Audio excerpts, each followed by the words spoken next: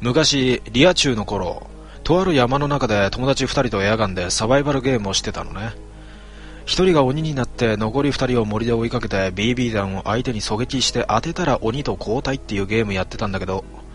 俺が鬼になって友達探し回ったけど全然見つからなくて、しばらく気配を殺して奴らが通りそうなところで隠れて待ってたんだよ。そしたらいきなり肩をポンポンと叩かれたから、俺はビクッとして振り向きざわに、弾を相手の太ももに打ち込んでやったわけ。そしたら、なんとそいつは俺の友達じゃなくて、三角棒をかぶった白雪姫に出てくるような小人のじじいなわけ。身長は1メーターぐらい。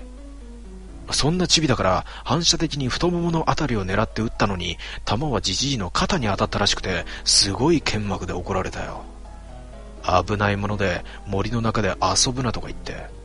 俺はひたすらじじいに謝ってたら、最後には結構優しくなってきて、帰り際には、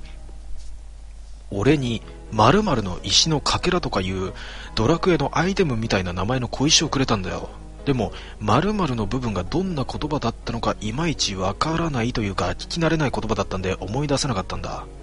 つい最近まで。で、この前にハリポタシリーズで賢者の石ってのがあっただろう。それの CM がテレビでやってる時に、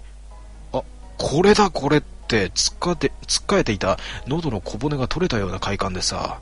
昔もらって机の引き出しの奥にしまっていた石を探しだ探したんだ。そしたら、それがどこを探しても見つからないってオチなんだけど、あの不思議な色の石のことは今でもよく覚えている。大きさは小さくてだいたい小石の半分ぐらい。色はくすんだ銀色で角度によっては緑や紫に見える。